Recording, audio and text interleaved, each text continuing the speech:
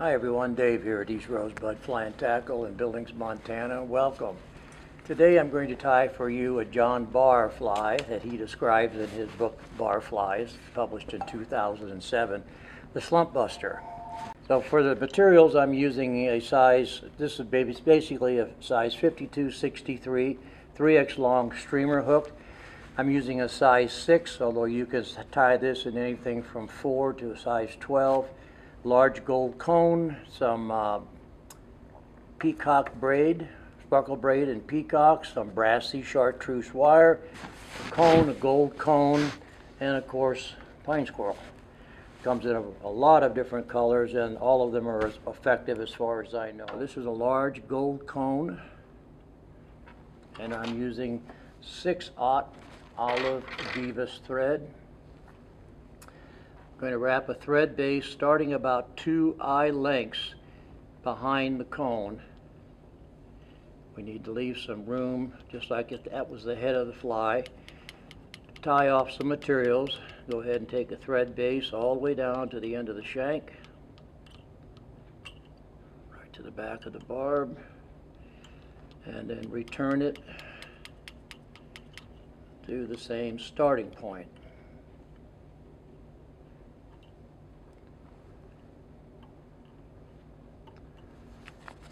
All right, I'm going to tie on about a five inch piece of peacock sparkle braid right here at this tie-in, the starting point. Be careful not to creep forward. Tying in these materials directly over your thread wrap starting points. I'm also going to tie in about a four inch piece of brassy colored, brassie sized chartreuse ultra wire. Make sure that the wire stays on your side of the hook. Sparkle braid stays on top as you tie these both going back.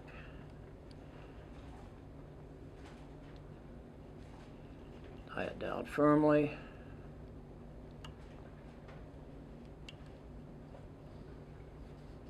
And a couple extra tight wraps when you get to the back.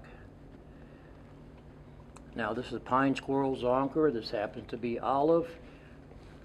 We have a lot of different colors. I'm going to measure a tail that's about shank length.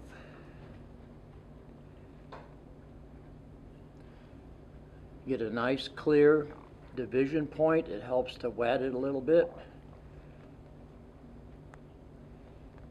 And tie that exactly where your thread is hanging. Pine squirrel zonkers are shorter than rabbit, and they have, of course, the natural barring on them that rabbit doesn't have unless it's dyed that way. Several tight wraps there to secure that. Make sure it's on top. Then I'm going to bring the thread right back up to where we started. Take one complete turn of sparkle braid underneath the tail. And then come forward, snug up against that, and make a nice smooth base of sparkle braid as you go forward.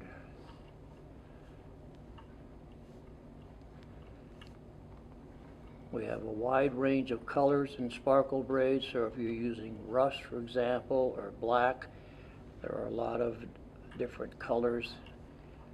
Sparkle braid and, of course, pine squirrel. All right, right back at our thread beginning point. Now stretch this forward. And again, you want to find a division point right where your thread is hanging. Dampen it.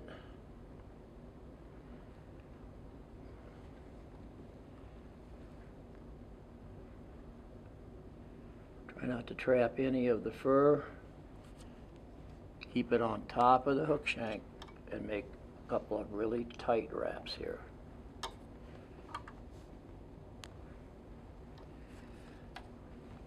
So we're going to actually tie this down with the wire, Matuka style. I will tie a Matuka fly for you in a different session.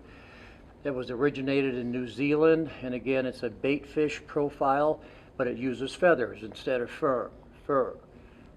Take one wrap right there where we tied everything down, and then take a few wraps coming forward, nice evenly spaced. Again, part that hair and try not to trap any. Just make sure it's a very durable streamer pattern.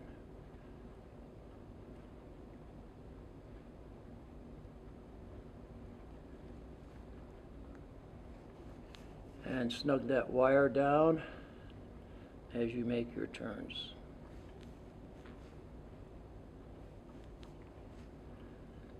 You'll get one more in there before we hit our end.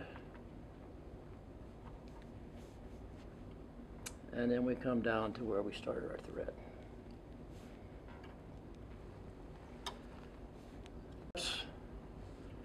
And then break the wire.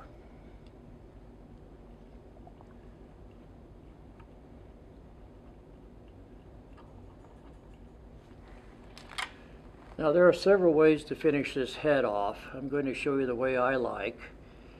First of all, I'm going to use some super glue gel. You can use a product like Zap Goo. It just takes longer to dry, but super glue gel is pretty good. We're going to fill the back of this cone about halfway. You don't want to do too much or you'll end up coming through the cone and over the eye. So we'll need to check that. I'll try to get everybody out of the way here. Sorry, my fingers are in the way. I fill it about half full. Then I bring the thread forward of the actual zonker and then start wrapping this to make a collar and to finish the fly. Make sure that you really get it packed in to the back of that cone. Make sure your cone is snug. Push it back a little bit. See, I have a little bit of super glue coming out the front.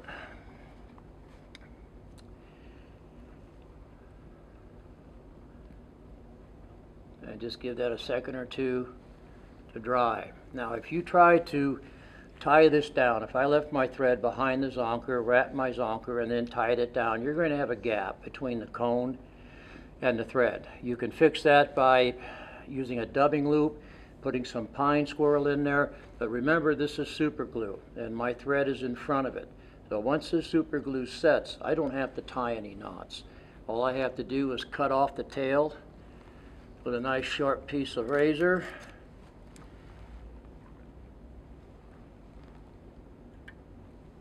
Like so. I think it makes a much cleaner tie off. That thread's not going anywhere, either is the pine squirrel. Make sure that this eye is clear.